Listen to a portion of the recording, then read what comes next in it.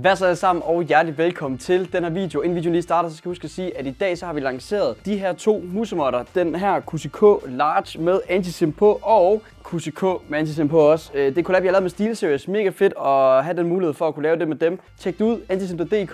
De er lige blevet lanceret i dag, så ind og tjek dem ud, og så få bestilt den og eventuelt ønske det som øh, årets julegave. Det, vi skal snakke om i dag, det er nemlig de tre stole, jeg har lige her. Det her, det er den første stol, det er en DX Racing Chair. Den koster, eller DX Racer, den koster cirka 2.000 kroner, hvis man skal finde den samme model øh, til samme pris. Hvad hedder det? Den er det som er Monster på, og det er en, som Monster sendt mig, så skud til dem. Jeg skal nok også sige reklame eller sådan noget der. Men den har Monster sendt mig, fordi jeg ligesom er ambassadør for dem og så videre. Øh, det er en af de stole, jeg har. Den anden stol, jeg har, det er den her fra Hypex, som jeg også har fået for et par år siden. Den har jeg haft et par stykker af. Den koster omkring de 2600 kroner, tror jeg det er. Øh, og øh, det er også, som man kan se, en lidt mere den stol sammenlignet med den her. Den her ser lidt mere slank ud, hvor den her den er lidt mere større. Det her det er også en XL-model, hvilket vil sige, at den er lavet til lidt bredere folk, og så kan den også holde til lidt flere kilo. Og herover der har jeg min helt nye kontorstol. Det der så også med den her, det er, at som I kan se herover, så er der en nakkestøt her på, det er der altså ikke på den her. Og så tænker man, Nå, er det fordi, du har købt en skrabet kontorstol? Øh, og nej, det er der faktisk ikke, fordi den her stol her, den har kostet mig over 11.000 kroner.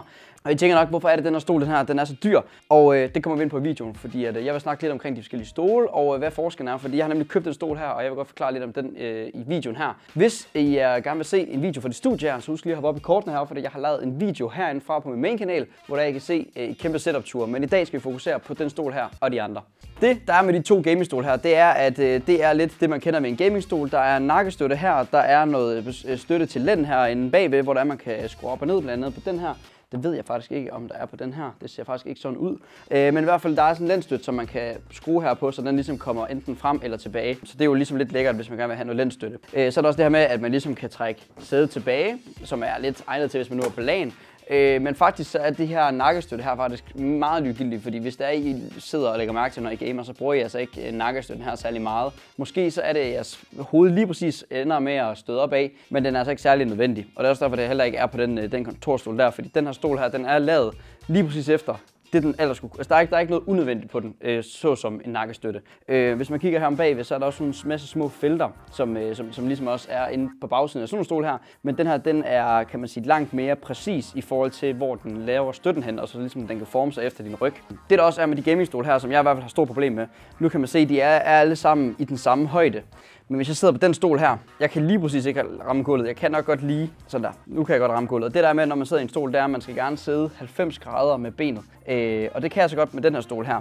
Øh, og jeg sidder faktisk rimelig fint inde. Jeg sidder helt inde og så videre. Men, men, men jeg synes, den er sådan lidt stiv i det, den er også lidt flad i det. Så, så den, er, den, den er meget hård, vil jeg sige, den stol her. Hvis man hopper herover, for eksempel på den stol her, som er den jeg havde, øh, sådan lidt over præference over den her, jamen så er jeg faktisk, hvad jeg lige kan huske, hvis jeg så skal have den helt ned, jeg, jeg kan ikke få den, altså hvis jeg sidder helt inde, så, så kan jeg ikke ramme gulvet ordentligt. Øh, og det er egentlig sådan, man skal sidde. Man skal gerne sidde helt inde med, med lændstøtte og så videre. Så det, øh, det er ikke lige den perfekte gamerstol for mig. Og det har nok også noget at gøre med, at den er for dyb her, og sammen den også for høj. Det er også en XL-stol, så den er måske lavet til folk, der er lidt højere.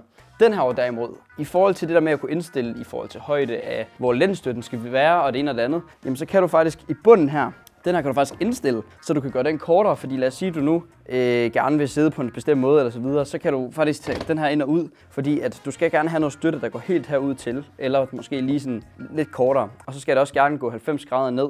Øh, det man også kan gøre, ligesom med så mange andre stole, du kan godt ikke trække den helt tilbage, men, men du kan sørge for, at den ligesom låser, det kan du selvfølgelig også på de andre stole. Men ligesom på den måde, som den former sig på på ryggen, er langt bedre end de andre, fordi der er ikke noget unødvendigt noget. Og man kan faktisk mærke, at det her, det er bare en lang flade, som der ligesom har den samme øh, dybde, øh, kan man sige, øh, fra her til og her til. Hvorimod den her, den har forskellige dybder, afhængig af, hvor du er henne øh, på den. Så den former sig ligesom efter din ryg, og hvor du har behov for ligesom at have lændstøtten. Så, og man kan sige, at Jax, 11.000 kroner. Det er fandme meget for en stol. Hvorfor kan du ikke bare nøjes med sådan en her? For det første, den stol her, øh, den har jeg allerede haft et par stykker af, som, eller haft en, der er gået i stykker. Det der med det, det var, at øh, der gik et hul her, og så var der metalspunder, der stak ud, og endte faktisk med at blive stukket i låret af det. Øh, hvis det ikke var fordi, at øh, det var sponsoreret, og jeg faktisk ikke havde garanti på den længere, så har jeg nok også gået ned til en butik og sagt, at jeg er blevet stukket på jeres stol, fordi, what the fuck. Øh, man kan så sige, at efter to års øh, garanti, så er der ikke, så, så er det ligesom på egen regning, hvis den er gået i stykker. Det der sammen med den stol her, det er, at den har 12 års garanti, hvilket vil sige, at jeg i teorien de næste 12 år ikke behøver at så skulle købe en ny stol. Og det er altså mange penge sparet, fordi hvis jeg nu skal købe i løbet af 12 år, skal jeg købe 6 af dem her, fordi de går i stykker hver andet år, jamen så skal jeg altså kun købe en af dem her ved 12 år. Øh, samt at det er en stol, der er lavet til at have meget mere øh, ergonomisk støtte. Det vil sige, at hvis jeg skal sidde og lave kontorarbejde, som jeg nu gør, fordi jeg sidder og streamer så meget, jamen så skal jeg også have en ordentlig stol. Og der er også mange store streamers, der bruger den. Jeg har blandt andet set XQC. Han har brugt øh, den samme, øh, det samme mærke, Herman Miller. Øh, jeg mener bare, det er en anden stol, han har. Øh, en, øh, en streamer, der også hedder Kaylee, hun bruger faktisk også samme stol. Og jeg mener også, MKBSG har en, øh, her, en Herman Miller stol. Så det er en stol, mange YouTubers bruger. Et fordi det er et mærkevare, men også fordi, at det er bare en rigtig god stol i forhold til, at hvis man skal sidde lang tid foran computeren og så bare have ordentlig lændstøtte. Fordi nogle gange på dem her, når man sådan sætter sig i dem, du, du har også lændstøtte, men det er som om, at længere op i ryggen, så er der ikke noget, så, så, så skal jeg sådan længere ind. Og hvis jeg så ender med at skulle skrue den her ind, så jeg ligesom får mindre lændstøtte, for ligesom at ligesom kunne komme ind, jamen, så føles det også bare sådan lidt unaturligt, fordi så har jeg ikke noget helt ned i bunden. Øh, den her, den, den supporter bare ryggen hele vejen op til, og man kan også se her, at der er altså noget at give af. Så den er bare, det, det er en stol, ikke? Så jeg kan sidde og, det, det giver måske ikke meget mening, at jeg sidder og siger, og jeg sidder nok og snakker om og om igen. Men den er bare virkelig fed, den stol her. I forhold til de features, den så har i forhold til så mange andre, jamen, den kan køre op, og den kan køre ned igen, hvis man lige sætter sig på den. Og så kan man selvfølgelig også indstille det her bagpå i forhold til hårdheden af det, og øh, også hvor meget det ligesom skal kunne tippe bagud. Nu har jeg altså lige slået det fra, fordi at når jeg sidder og gamer, så er det ikke lige så, så praktisk, at, at jeg har det på. Og de her, de kan faktisk også, nu skal jeg lige se, hvordan, hvordan var det, de her, de virkede. Jeg var faktisk ude ud i butikken, vi, vi legede lidt med dem. Sådan der. De kan, faktisk, de kan faktisk tages ind og ud, afhængig af hvordan man vil have dem. Hvis man nu gerne vil have dem sådan her, så kan man sidde sådan med dem. Hvis man gerne vil have dem herud, så kan man sidde sådan med dem. Øh, afhængig af også, hvor bred man ligesom er. Der kan man også indstille efter det. De her, de kan også øh, komme op i højden. Så, altså, så kan man bare sidde sådan her. Altså det, det, det er også sådan, det, det er bare egentlig armlæne, det føler jeg ikke, det er så vigtigt igen. Men det er fedt nok, at de er lidt mere justerbare, for de her, der, dem kan du bare snore sådan der, og så kan du så køre dem, øh, jeg tror det, ja, op og ned. Øh, det er ikke, det er bare billig plastik. Det her, det, det, man kan mærke, det er langt, mere, langt, langt bedre byggekvalitet, det her. Øh, hvis jeg lige slår den her til, så kan man også se, så kan jeg sagtens sidde helt herude. Der kan man også justere hårdheden på, altså hvor meget der ligesom skal til, for, for at komme helt herud.